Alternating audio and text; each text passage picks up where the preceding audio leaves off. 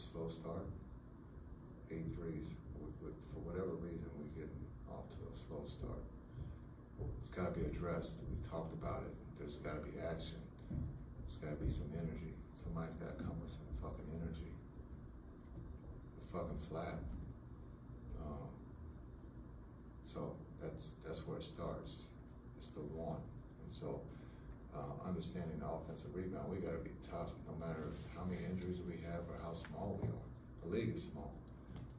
Right now, we're not doing that. And so uh, we'll look at the tape, get back to seeing what we can do better.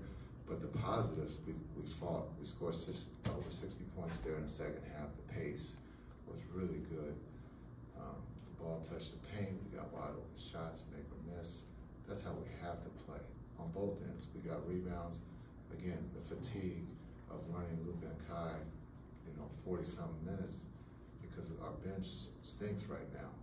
And so, as deep as we are, we got to get someone to fucking participate off the bench. Somebody has to join the party to help Kai and Luka, and that's just not happening right now. It's a team.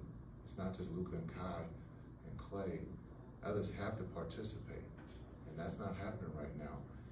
Played the whole fucking team tonight, couldn't find anybody, so we had to leave those two, you know, to, to carry the load, and that's unfair for those two this early in the season.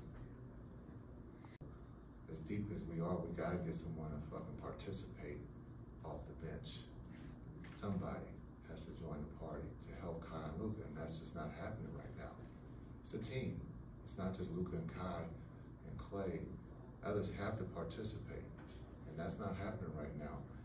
Played the whole fucking team tonight, we couldn't find anybody, so we had to leave those two, you know, to, to carry the load, and that's unfair for those two this early in the season.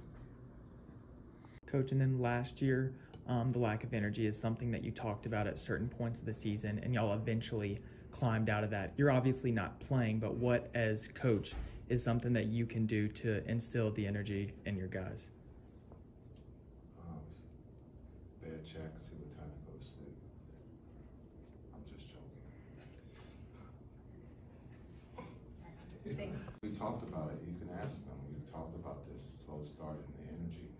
Um, but we're also trying, you know, that's last year's team was different and went through some slow starts too.